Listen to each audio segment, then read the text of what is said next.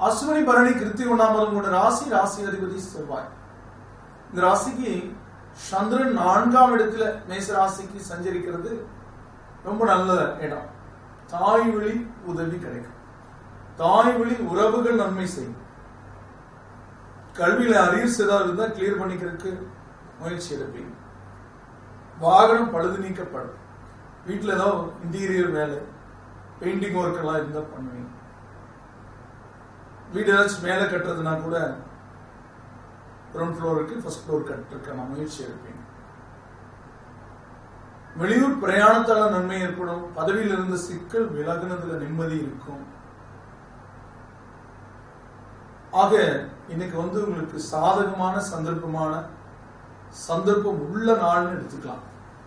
அஸ்வினி நட்சத்திரத்துல பிறந்தவங்க உங்க அஸ்வினியுடைய தேவதையான சரஸ்வதியை வழிபடுங்க. கல்வியில முன்னேற்றம் கூடும் தடைகள் நல்ல யோசனையா அந்த அம்மா கொடுப்பாங்க உங்களுக்கு. பரணி நட்சத்திரத்தில் பிறந்தவங்க பைரவர் கும்பிட அஷ்டம சனியோட பாதிப்புகள் அகன்று நிம்மதி கிடைக்கும். நல்ல உறக்கம் கிடைக்கும். மனித வாழ்க்கையில உறக்கமும் முக்கியம். உறங்கிட்டே இருக்கக்கூடாது உறங்காமையும் இருக்கக்கூடாது.